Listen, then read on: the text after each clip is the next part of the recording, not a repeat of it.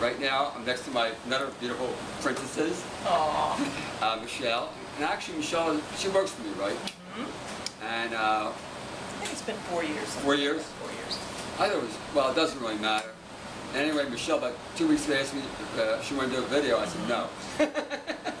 True story. And uh, I guess why don't you explain what's going on and your, Well, your journey? Okay. Well, I was um, uh, I I was 425 pounds in uh, I don't know I guess four and a half years ago something like that, and um, I went to a raw retreat. I went to Optimum Health Institute and ended up getting a um, a volunteer position there working in the kitchen and I spent eight months in total and lost like 140 pounds there and then I came home worked for Arnold Right. and I continued on my journey and I lost 175 total and I stayed raw for three and a half years And you stayed pretty much that weight. Yes, well, about. I was Right. about 250 when Right. I was doing um, Right. like low fat raw. Low fat raw. Low fat raw. I was about 270 for a long time, Right. and then when I started to do low fat raw, I was about 250. Okay. And then I started to get into a lot of catering and a little stressful, and I don't know. I started to, and You lost it. well, Yeah, well- no, you know what? A lot of raw people don't eat all raw. Right, Uh, that's and right. and um, I think that I'm an addict. I think I'm, I'm a addict food too. addict. I am. So I was with a lot of raw people who are not addicts. Right. So they eat a little cooked here, a little cooked there, and nothing happens the next day. Right. I eat cooked food, and the next day I'm eating 10 buckets of fried chicken. I mean, it just Wow. escalates. It takes do you think over my life. By the way. What? Why do you think that is? Well, I think that uh, some people are maybe more prone, like people Right. are alcoholics. Right. Maybe some people are more prone to Right. to to you know. Uh, I don't know. And It's a chemical, maybe. Maybe it's something you fight with all the time. all the time. My whole life I've been, you know, Right. compulsive eating, and the only time Right. that I was ever able to lose weight and keep it off Right. Was during those three year, three and a half years of raw. Low fat. No, well, Raw. regular raw, Right. but the, I was raw for all that time and kept off the weight I lost. Right. And any other diet I've ever been on, Right. the minute you go off the diet, you're done. And that I never stayed on any program for as long as I stayed Well, on. you know what it is? It's called opioids. Oh, Op- oh, opioids opioids, right? Opioids is not in all grain products. And Aha. that's morphine. It's Uh-huh. also uh, uh, glue. Yes, yes. affects your thinking. Right, and probably gluten. Maybe Gluten. we have a gluten intolerance or something. Oh, People who are prone to being more addicted than other people. See, if I eat cooked food, But you don't I eat. gain a pound. And if I eat cooked food, then two months later you'll see me. I gained 100 pounds. So, so it was about. I think it was about the last year and a half. I started cooked food. It escalated. I couldn't stop. I gained over 100 pounds back. I gained 120 pounds back. I Wow. think. Now, I finally came to the conclusion that I can't do this anymore. I can't keep trying to eat a little bit. I, I, I got to go back to what I was doing before. So now it's been three weeks and I lost about 30 pounds, 30 which pounds. is fabulous. Right. And, So uh, we can eat track you every month coming up. what, oh, sure, if you want to, sure. Because she's also a singer. Yes, I am an opera singer. I'm a fabulous, famous opera singer. And you're also a famous chef. Yes, I'm a famous raw chef. And uh, so, you know, life's a journey. Life is a journey. And you don't beat yourself. Well, you beat yourself up when you gain 100 pounds. Oh my God, yeah, it was horrible. Wow.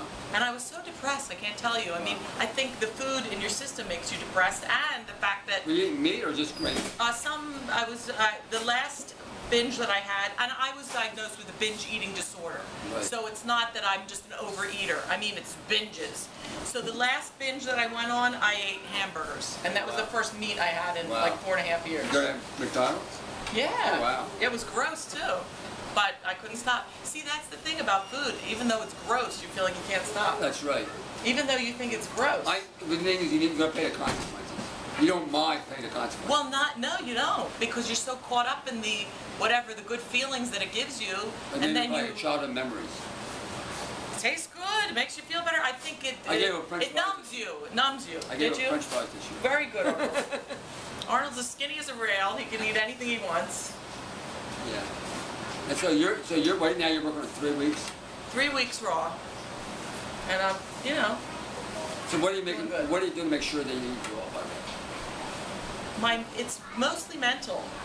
In As other soon as I made that mental- Right. As soon as I made the mental decision that I feel that I, that I believe that I'm a cooked food addict, Right. that was the end. Then there's just no, I don't even go there because I, I, I, it, it escalates. And that my history has shown that it escalates. Do you write this down or you don't? No, it was just, I mean, you just- decided, You just, you decided that no more cooked food. no more. Not That's even it. a drop. No, Not even a tinkle. no, a tinkle, no. Actually, the other day we went and I got a salad somewhere and I was very explicit in my directions, but when they came, it had cooked vegetables on it. And I did eat it and it was delicious. And then I thought, heck, tomorrow I would like some more cooked vegetables. Is that right? And then I said to myself, you see, there it is again, that's it. And the next time we went to this yeah. place, I said, no cooked vegetables in my salad. And was it as good? No. In other But words, cook, eat a little food. it's so delicious. You- It changes your whole way of being. Absolutely. For, a- and it's delicious. Who doesn't want to eat what's delicious? That's true. So. What was it as I get here? it's so good. It's called California Tortilla Bowl or something. That It's on Roosevelt Boulevard. they? Uh, It is so good. So now I'm just Now eating you're now you lost 30 pounds. I lost 30 pounds and I'm getting back into exercise again. I walked a couple times, over two miles twice last week, and you know I'll keep keep going. So I feel so much better. I'm not depressed anymore. And that's the scoop. But Arnold is, oh, look who it is. Okay, should we wrap it up?